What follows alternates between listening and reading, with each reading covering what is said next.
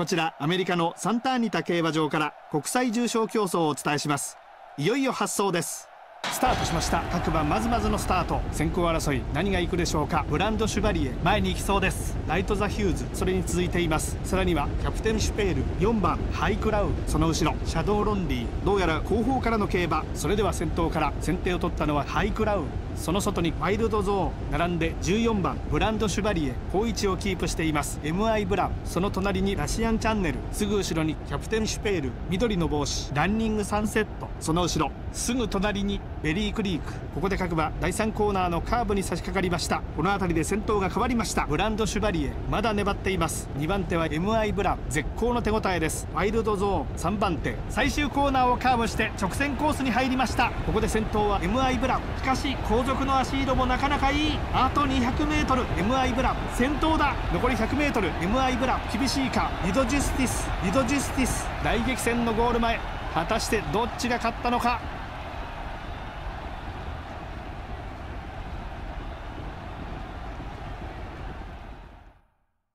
これは際どい勝負。ゴールの瞬間もう一度 VTR で確認してみましょう。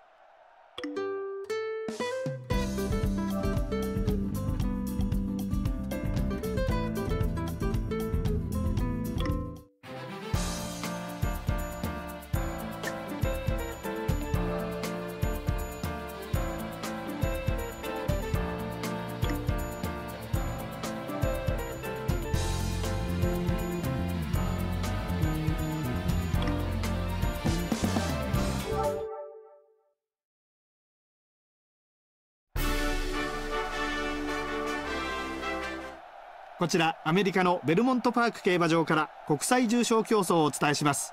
いよいよ発走です。スタートしました。オータムランド。好スタート。綺麗なスタートを切りました。ダッシュよくオータムランド。行きました。続いて前へ行くのはシャワーエンペラー。さらにはハート・オブ・ドゥ・ライン。2番オートボード。その後ろ。では前の方から見てみましょう。先手を取ったのはオータムランド。これに続くのがマーリン。その外からシャワーエンペラー。バブルガムフェロー。好位をキープ。その外からマーベラススイング。この辺りで各馬第1コーナーから第2コーナーへ向かいます。では前の方から見てみましょう。先手を取ったのはマーリン。これに続くのがオートボード。その隣にオータムランド。その横にシャワーエンペラー。マーベラススイング。この馬もこのグループ。赤の帽子。バブルガムフェロー。いい位置につけました。すぐ後ろにチーフベアハート。ピンクの帽子。ウィッシュバリュー。その後ろ。すぐ隣にムービージュピター。ハート・オブ・ドゥ・ライン。すぐ後ろ。すぐ後ろにスペシャルディレクター。最後方にシリウス・パワー。ここで各馬第3コーナーのカーブに差し掛かりました。この辺りで先頭が変わりました。バブルダイヤモンド。バブルダイヤモンド。後続を引き離す。2番手はオートボード。マーリン。3番手バブルガムフェロー。ぐんぐんと差を詰めてくる。後続も追い上げていきます。さあ先頭はバブルダイヤモンド。マーリン。その後ろ並んでオートボード。最終コーナーをカーブして直線コースに入りました。ここで先頭はバブルガムフェロー。残り 200m 先頭はバブルガムフェロー。マーリン。必死に追いすがります。2番手はマーリンバブルガムフェロー。もうひと伸び。先頭はバブルガムフェロー。1着でゴールイン。バブルガムフェロー。1着。2着にはどうやらマーリン。世界の強豪を相手に見事な勝利を収めました。バブルガムフェロー。まさしく日本が世界に誇れる馬です。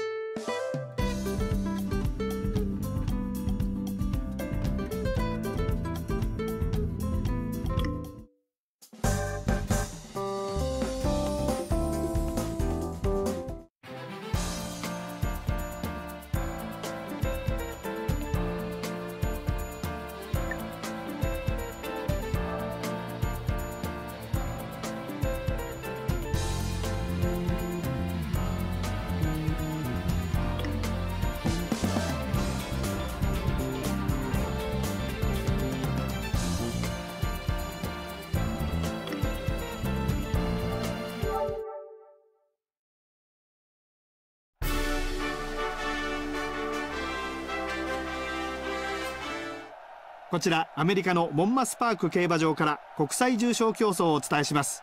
いよいよ発走です。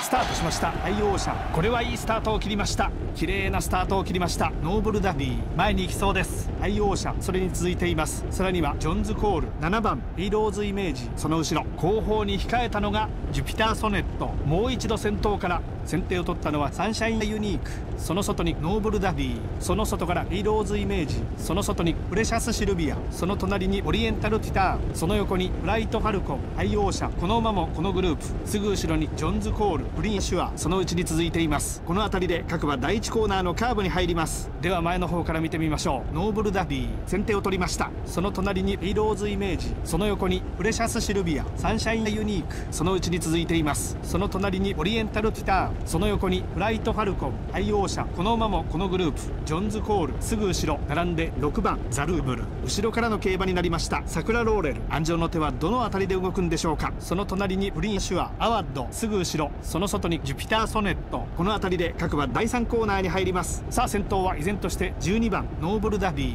プレシャスシルビアほとんど差がありません。ヒーローズイメージ3番手桜ローレル。いい位置です。先頭を捉えにかかります。最終コーナーをカーブして直線コースに入りました。ここで先頭変わりました。先頭はプレシャスシルビア。プレシャスシルビア。先頭残り 200m プレシャスシルビア。先頭だ。しかし後続の足色もなかなかいい。桜ローレル。差し切った。桜ローレル。ゴールイン。桜ローレル。1着。2着にはどうやら。プレシャスシルビア。世界の強豪を相手に見事な勝利を収めました。桜ローレル。まさしく日本が世界に誇れる馬です。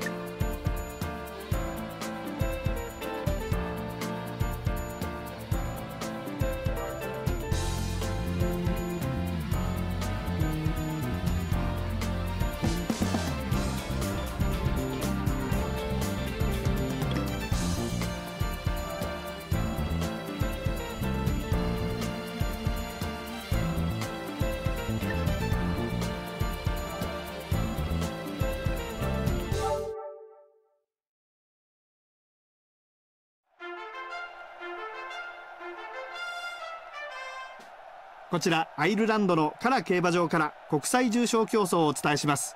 いよいよ発走です。スタートしました。各馬綺麗に揃いました。さあ前に行くのはどの馬か。ディーピングフォレスト。前に行きそうです。ノースウォード。それに続いています。さらにはマティアラ。16番。イージーシャワー。その後ろ。スマートアート。どうやら後方からの競馬。では前の方から。先手を取ったのはディーピングフォレスト。内からはマティアラ。その外からイージーシャワー。すぐ後ろにミリオンベットストリートスティンガー。それに続きます。内からはマッハレインボー並んで14番ファンタジーフット。内からはスクリーンスウォード。その隣にバブルリージェント。では前の方から見てみましょう。先手を取ったのはミリオンベットその横にノースウォード。これに続くのがレイディーカーラ。イージーシャワー。それに続いています。並んで3番マティアラ。すぐ後ろにディーピングフォレスト。1000m を通過。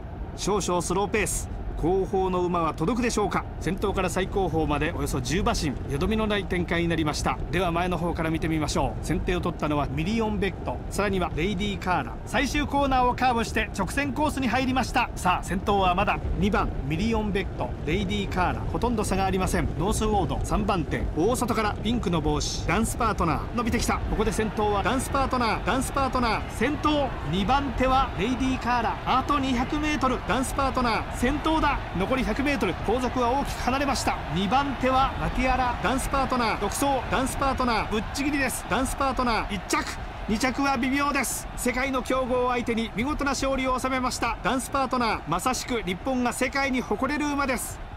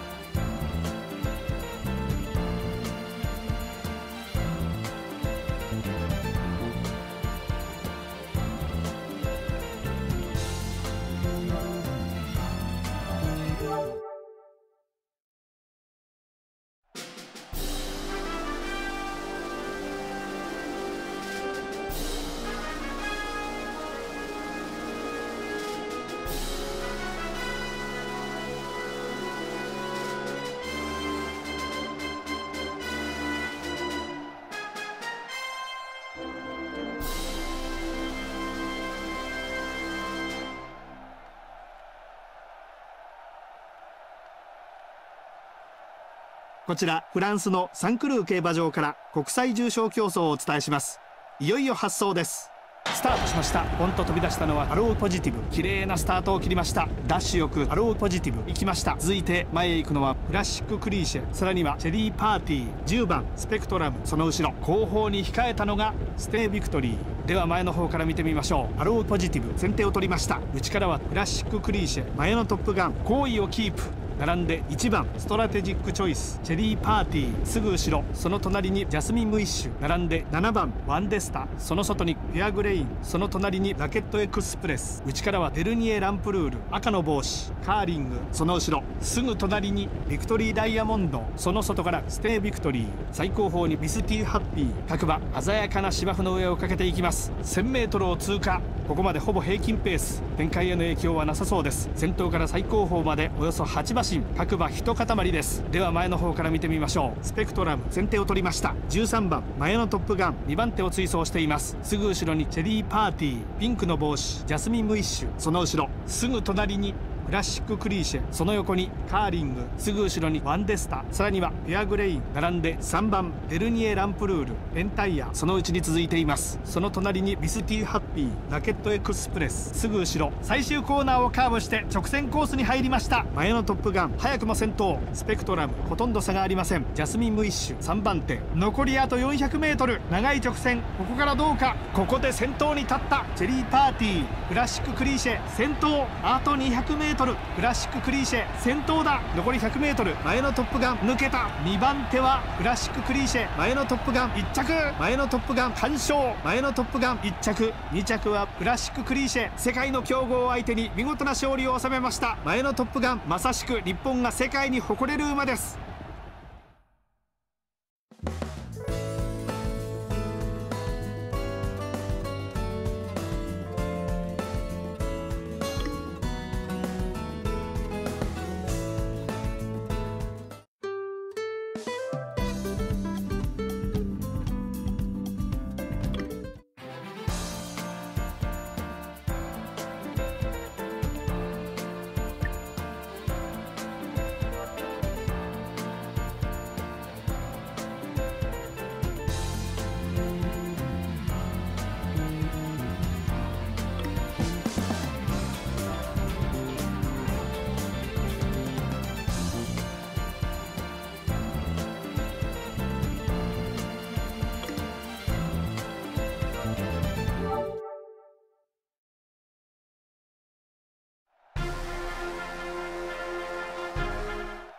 こちら大井競馬場から交流重賞競争をお伝えします。いよいよ発走です。スタートしました。菊のウィン好スタート。綺麗なスタートを切りました。ダッシュよく飛び出して菊のウィン鼻に立ちます。その後ろからはサンライフ帝王。この馬も上がっていく構えです。さらにはバトルライン4番コスモ成功その後ろ。もう一度先頭から見ていきましょう。先手を取ったのは菊のウィンサンライフ帝王。すぐ後ろ。その後ろにバトルライン。その外から北斗サンライズ。この辺りで各馬第1コーナー右にカーブしていきます。では前の方から見てみましょう。先手を取ったのはサンライフ帝王。青の帽子菊のウィンその後ろ。すぐ後ろにバトルライン並んで14番マルターズバドすぐ後ろに北斗サンライズ。さらにはストロングコメット並んで13番サーガカップスイープケリーこの馬もこのグループ。すぐ隣にコスモ成功その横にキャプテンジョージ河内大王後ろからシェーンフォルムすぐ後ろ並んで1番エルスダッチェス。この辺りで各馬第3コーナーのカーブに入ります。ここで菊のウイン先頭に変わりました。サンライフ帝王ほとんど差がありません。マルターズバの3番手河内大王いい位置安城のゴーサインに応えるか後続集団も追い上げにかかります。4コーナーカーブから直線コースに向きました。さあ先頭に立ったのはサンライフ帝王サンライフ帝王先頭あと 200m サンライフ帝王先頭だ。リードは1馬身。後続の足色はどうか。河内大王迫る。サンライフ帝王サンライフ帝王1着。2着にはどうやら河内大王見事に中央の強豪を退けました。サンライフ帝王この馬は強い。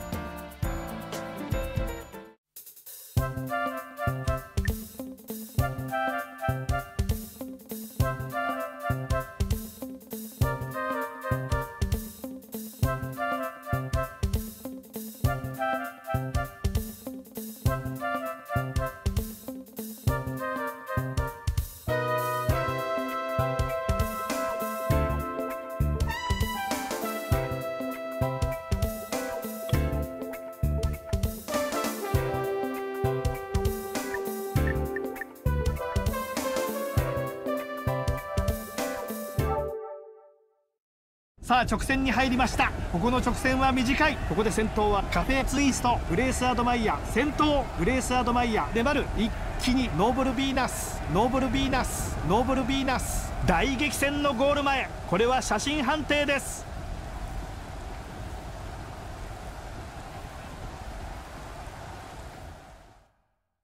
これは際どい勝負。ゴールの瞬間もう一度 VTR で確認してみましょう。